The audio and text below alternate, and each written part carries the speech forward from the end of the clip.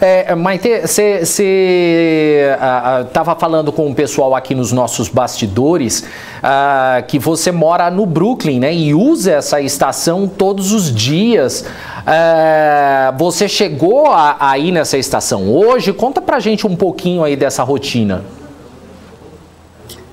Então, hoje eu não fui porque, é, na verdade, eu estava atrasada. E nesse meio tempo de atraso, eu recebi um telefonema do meu chefe falando que não era para eu sair de casa, porque é aqui do lado, é a estação que eu uso, é uma estação da, da minha principal, e ele sabe, então ele me ligou, falou que não era para eu sair de casa, é, perguntando também se eu já tinha saído. Então, na verdade, graças a Deus que eu atrasei. Ah, com certeza, né? Ainda bem, essa é a parte principal, estar bem. Mas é, você estava contando aqui também pra gente que você mora perto, né? É, você chegou a, a, ouvir alguma coisa, chegou a ver a, a, a, situação no entorno aí dessa, dessa estação? O que, que você ouviu ou viu? É, eu comecei a ouvir muita sirene. É, o na hora que aconteceu, assim, não, não, deu para ouvir nada. Porém, muita, muita sirene, mais do que o normal, porque aqui já tem sirene, mas é, sirene, polícia, é, e eu vi da minha janela muita gente na rua, é, o trânsito parado, parado, e agora deu uma acalmada, porém as sirenes ainda continuam. É, e aí, quando eu fiquei, na verdade, sabendo, aí que eu entendi é, tudo que estava acontecendo. E você mora com o seu marido e com o seu filho aí, eles estavam fora? Como é que foi? Não, eu não tenho marido nem filho. Não? Ah, não, não, tudo bem. É que passaram aqui a informação de que você seria casada. Não, desculpa, passaram errado. Então, é, você, mora, você mora com quem, perdão? É, eu moro com o meu colega de apartamento, que no caso ele não está aqui hoje, ele foi viajar, então eu estou sozinha. Entendi. E como é que fica agora essa sensação, né, de você estar aí ao lado de uma, de uma estação que teve aí um, um atentado, talvez, se a gente puder usar essa expressão. Como é que fica o sentimento? Como é que, como é que você está se sentindo com essa situação? Eu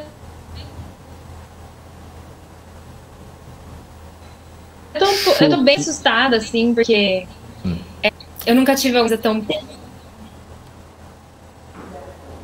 É, é, é, falhou próximo, um pouquinho na assim, hora, na hora que você estava falando. O, o fa, começa de novo. Você estava falando do sentimento, aí travou. Pode, se você puder começar de novo. Claro. É, é eu tô assim, tá, uma coisa bem, fiquei muito assustada porque é uma coisa muito grande que aconteceu muito perto. É, no momento eu não posso sair de casa, estou recebendo alertas no telefone, é, recebendo muita ligação de família e de amigos, amigos que moram perto de mim também, aqui próximo. Então a gente está, né, se falando, estamos meio confuso. É, ainda não pegaram a pessoa, então é para a gente ficar em casa mesmo. Então é uma coisa bem confusa e bem, bem complicada, né? Um, um sentimento assustador, né? E, e, o que, que você ouviu desse relato do, dos amigos? O que, que eles falam a respeito do que aconteceu? É, tá todo mundo muito confuso. Ninguém sabe muito bem o que está acontecendo. É, uma amiga minha já estava no trabalho, é, então ela está, na verdade, lá, ela não pode sair do trabalho no momento. E é, tomando cuidado, né? Todo mundo tomando muito cuidado.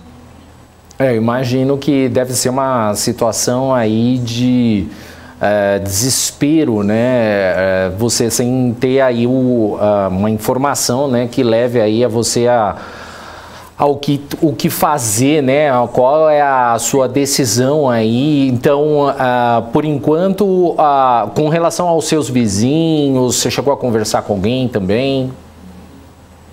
Sim, eu cheguei a conversar com meu vizinho é, e também é a mesma coisa, ele falou, olha, não, não sai, é, é, fica aqui, vamos esperar para ver o que está acontecendo, a gente não sabe se é, né, se é pontual, se é se vai ter mais, mais alguma coisa vai acontecer, então o mais seguro no momento é ficar dentro de casa até a gente receber mais notícias.